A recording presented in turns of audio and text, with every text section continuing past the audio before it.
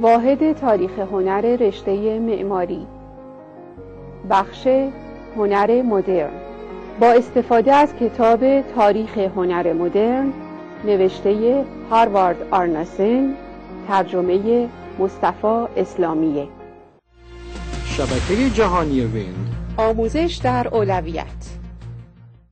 جلسه اول.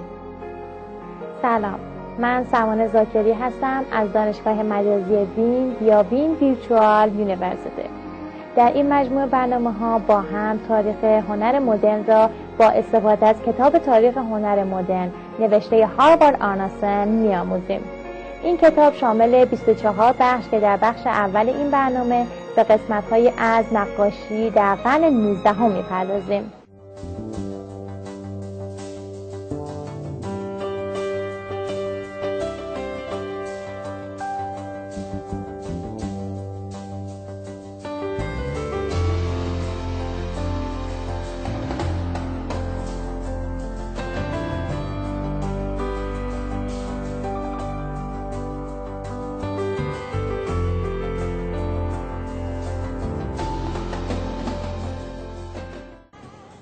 ادوارد مانه نقاش فرانسوی در سال 1832 به دنیا آمد.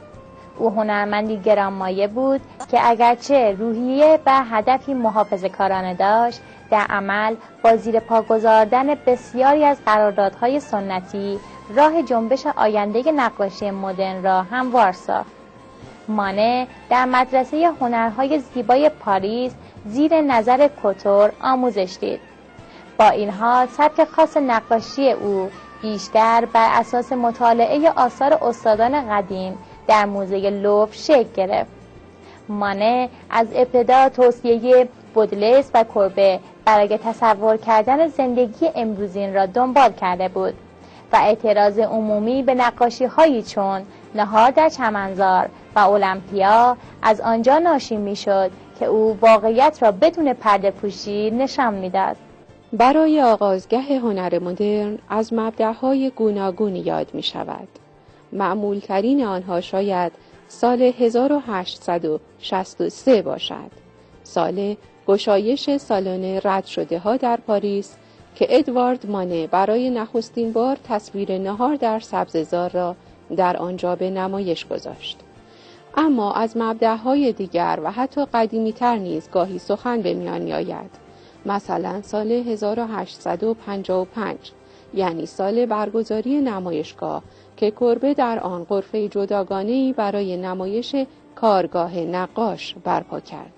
یا سال 1824 زمانی که منظر پردازان انگلیسی همچون جان کانستپل و ریچارد پارکس بانینگتن کارهای درخشان خود را که پژوهشهایی در زمینه برداشت مستقیم رنگ از طبیعت بود در سالن پاریس به نمایش گذاشتند یا حتی سال 1784 که ژاک لوی داوید سوگند هوراتی ها را تمام کرد و جنبش نوکلاسیک کم کم داشت جای مهمی را در اروپا و ایالات متحده به دست می آورد. هر یک از این مبدعها البته در پیشرفت هنر مدرن کما بیش اهمیت دارد اما هیچ یک به تمامی نمایانگر یک آغازگه نوین نیستند.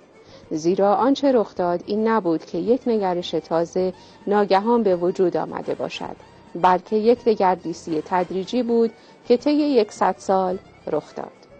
این دگردیسی تحولات جداگانه متعددی را در بر می گرفت. از جمله تغییرات در نحوه سرپرستی نمایشگاه ها در نقش فرهنگستان فرانسه در نظام آموزش هنری در موقعیت هنرمند در جامعه و به ویژه در شیوه روی کرده هنرمند به وسایل و مسائلی از جمله موضوع، شیوه بیان، محتوای ادبی، به رنگ، طراحی و مسئله طبیعت و هدف یک اثر هنری. فضای تصویری نخستین نکته است که باید مورد توجه قرار گیرد.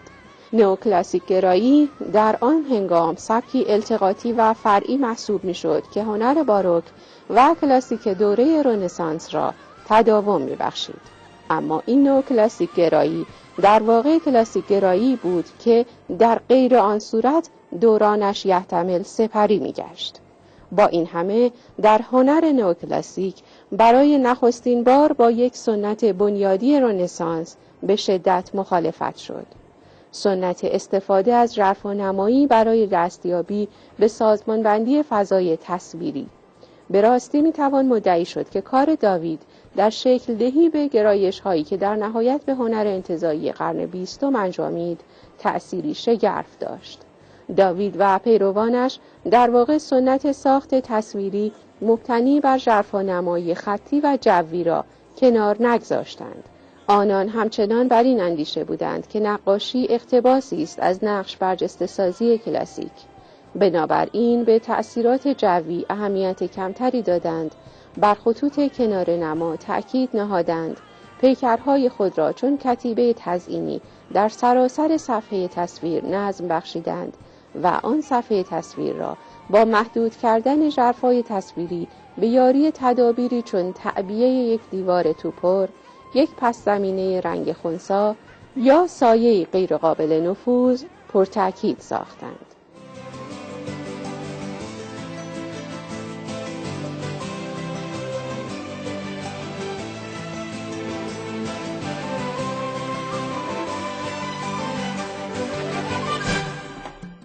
ژاک لوی داوید نقاش فرانسوی در سال 1748 به دنیا آمد.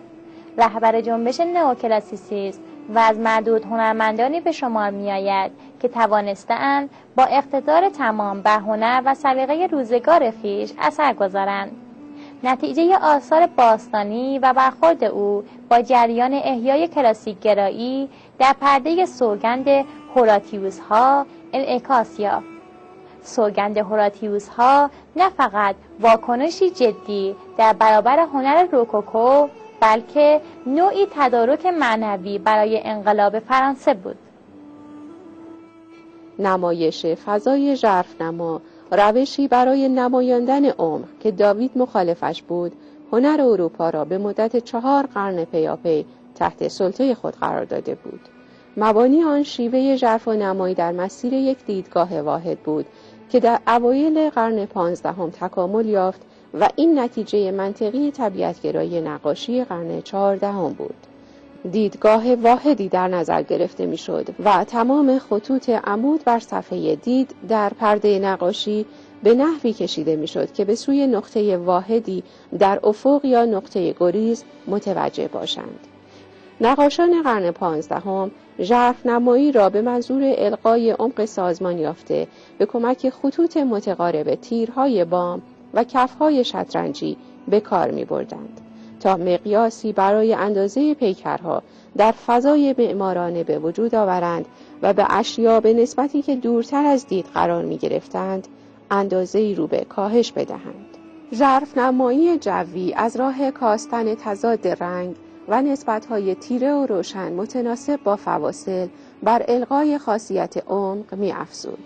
نقاشان با این تدابیر نمایش طبیعت گرایانه انسان و پیرامونش را تحت نظارت خود گرفتند.